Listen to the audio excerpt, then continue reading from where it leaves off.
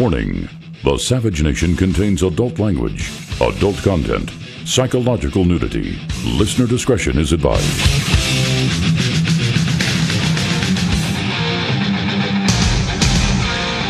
And now, America's most exciting radio talk show, The Savage Nation, home of unprotected talk, borders, language, culture. And here he is, Michael Savage.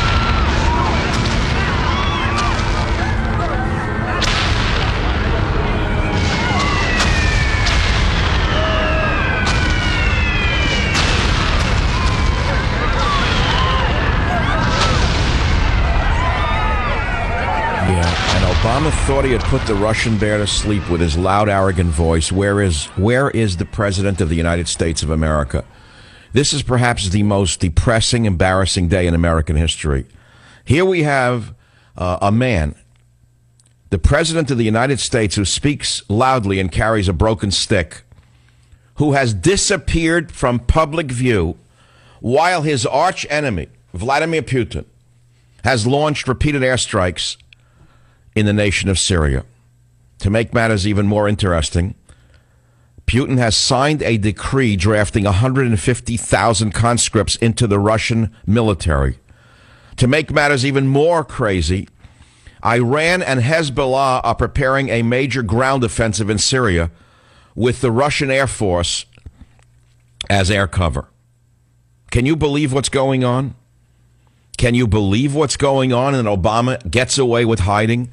How does the President of the United States get away with hiding at a time like this when he just spoke so loudly the other day? As though he was in control. He had put Putin in his place. He was firmly in control. You know how? Do you know how he gets away with it? Tell me the consequences of this man's behavior. His entire life has been that of liberals kissing his feet for reasons I don't think you need to have me articulate. From the time he was a little boy, they kissed his feet. The liberals smoothed the way, ushered him right into the presidency, where he is an abject failure at every level. But I don't want to talk about this loser. I want to talk about Syria. And I'm going to ask you the same question today that I asked you yesterday, right here on the Savage Nation. Now, if you're a moron and want to hear about a baseball game, go ahead, make my day, and turn the station. Go ahead and make my day and listen to some idiot with bling in his teeth rubbing his crotch, if that's what you want. Or some slut from Hollywood falling down and having her breasts exposed. And you wonder why you have no nation, you fool. Putin signs a decree drafting 150,000 conscripts, and we have men in pink ties yesterday mumbling and stumbling over themselves. Oh, don't behave that way. We'd hope the Russians would behave another way. We'd hope the Russians would understand the bigger picture. Can you believe what this great nation has become under this fraud? So, why is it happening? Well, I want to take you back in time, as you call this show, The Savage Nation to express your viewpoints on whether you support or oppose Russia's airstrikes yesterday and today. Very simple question. Do you support or oppose Russia's airstrikes today? Now, please don't call me and tell me he's not that they're not attacking ISIS; they're attacking Syrian rebels. We covered that baby talk yesterday. Well, let's move the dialogue a little past what we all know is true. And by the way, at the same time, right on schedule. Sorry, I can't notice it. There's a shooting at an Oregon community college, ten dead right on schedule. I'm sorry, uh, I'm not generally given to conspiracy theories, but it seems to be a very convenient way to get Obama's abject, disastrous failures as a foreign policy moron off the headlines. Now we're all focused on the deaths at a community college. I didn't say that it was orchestrated by the government, but I'm starting to wonder how do these things happen so conveniently for a failure like this? Where is Obama? What fundraiser is he at? Where is the, where is he hiding? Well, let's put that aside again. Do you remember when the Pope was here 10,000 years ago? That was just a week ago, remember? The great communist Pope came through, waving his magic wand, and millions of fools came running, not, not knowing he was exp- expounding the straight out socialist line of the Peronistas from his home country. They didn't even know what they were cheering. Remember what I said to you? Weeks before the Jewish holidays that just came and went? Remember what I told you that what was coming around Rosh Hashanah, Yom Kippur, and then the Pope arrived? I said there are things happening in this universe that are going to be bigger than you can imagine right after the Pope's visit. I told you that. Do you remember that on this show? I'm not talking about the Redskins today. I'm not going to waste your time talking about sports. This is a talk show. You want to turn into a sports show? Good, good luck to you. There's plenty of sports radio shows. Why he hit one out of that field? No, he didn't hit it really the greatness. He has a 200. No, he has a 220. Why? I remember my father took me to a baseball game. No, I have my hat on backwards. I know what's going on. And you wonder why you have no country, you fool. Pay attention. Be a man. Put a pair of pants on and get the shorts off. Put your hat on forwards, not backwards, you idiot, you. You're losing your nation. And you're losing a nation because of yourself, because you don't pay attention to politics. So I'm going to help you pay attention to politics. You are witnessing one of the greatest events in your lifetime. You are witnessing a change like you have never seen in your lifetime. And I predicted when the Pope was here, when the blood moon was here, when the Rosh Hashanah and Yom Kippur holidays were over, I predicted right on this microphone, right in your ears, that great events were happening and things would happen that you would never expect. And then Obama had a meeting with Putin, and he was going to put that Putin in his place. And the thin man walked out of the meeting. The big, thin man. He walked out of that meeting with that booming voice of his. Talk loudly and carry a broken stick. And if you looked at the still shots that were doctored by his friends in the media, he looked like he was in charge. But if you looked at the moving pictures of the thin man, he looked like a frightened child who had just had hell itself visited upon him. He was scared to death.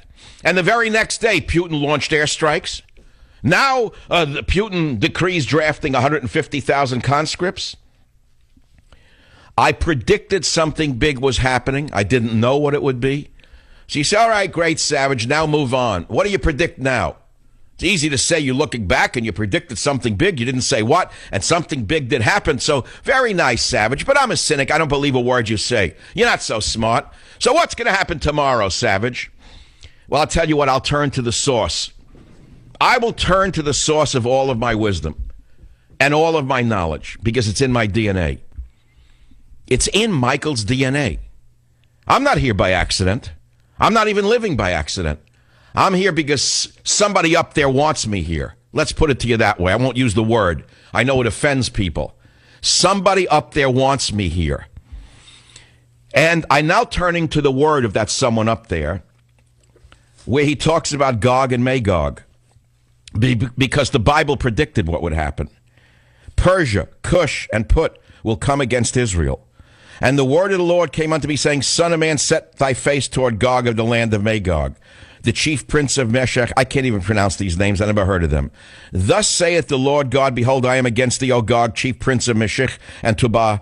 What is this about? And I will turn thee about and put hooks into thy jaws, and I will bring thee forth and all thine army, horses and horsemen, all of them clothed most gorgeously, a great company with buckler and shield, all of them handling swords, Persia, Cush, and Put with them all of them with shield and helmet. And then it goes on in Ezekiel, if you want to see biblical prophecy coming to light.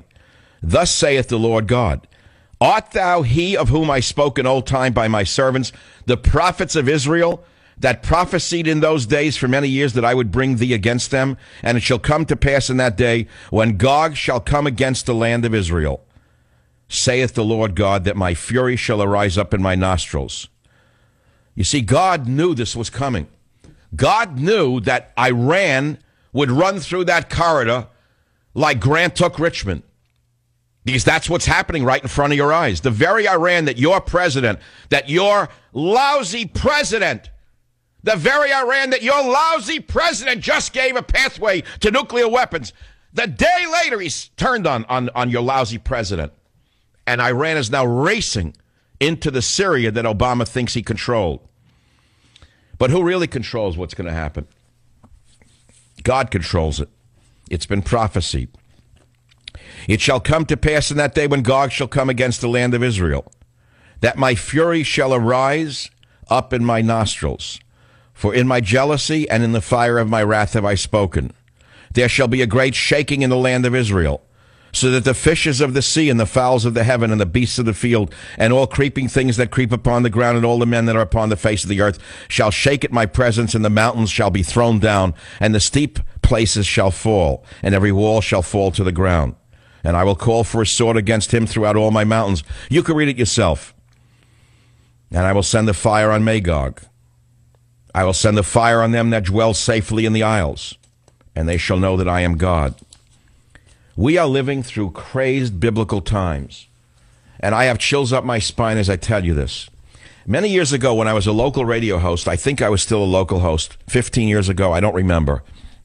It would have to have been longer. I had Jerry Falwell on, who at the time was extremely influential in this nation and in the world. Remember, he was Ronald Reagan's pastor. Do you remember? Do you remember that man? And he spoke of Gog and Magog on this program, on the Savage Nation at that time.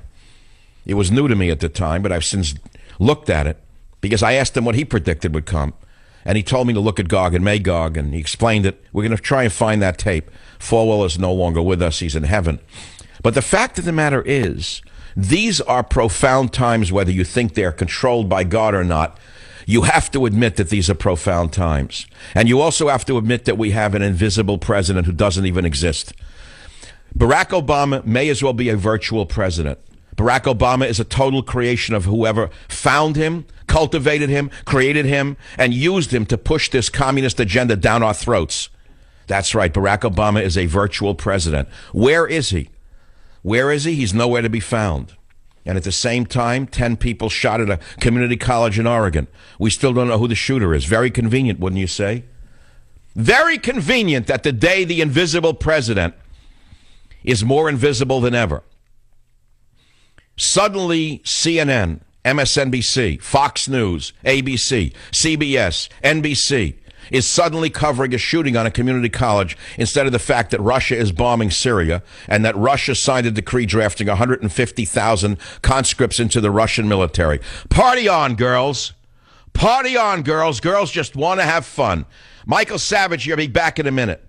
Join the Savage Nation. Call now 855 400 Savage. 855 400 7282. Savage. Hey, our Savage Nation is sponsored by SwissAmerica.com, the only company I trust for wealth insurance, gold and silver. Call 800 B U I C O I N. I think that what Russia is doing may save the lives of, of Christians in the Middle East. You understand that the uh, Syrian government, uh, for, you know, for their good and for their bad, uh, over the history of, of, this country, they have protected Christians, they have protected minorities uh, from the Islamists. 100% right. That's the very influential son and beloved evangelist Billy Graham, a Reverend Franklin Graham, speaking out as a true leader. And he spoke on Newsmax television. And he said what I said yesterday, which any common, anyone who understands what is going on knows to be true. What Russia is doing as repugnant as it may appear to you, may save the lives of Christians and, by the way, of Jews in Syria. Where are the Jews on this? I'm sorry, I have to say it again. Where are the professional Jewish organizations? Where are they? The I don't even know the names of these groups. Where are they when they see what's going on? Do you know that the Jewish people in Syria are a large minority community and they're protected by Assad? You didn't know that? You know the Christians who are being slaughtered in Iraq and Syria are protected by Assad? That's not a, a factor in your decision of what should be done. Why is Russia protecting Christians on top of protecting Assad? Because he understands we're in a battle for the survival of Christianity and the Western civilization. Wake up, fool. Look beyond the stupid Reaganites who are stuck in the 1980s as though it's the Russia of the Soviet era. They can't get past the 1980s. It's as though they fell into a pile of amber. Like prehistoric mastodons, they go around saying that Russia is the greatest threat to the world. Well, let me tell you something.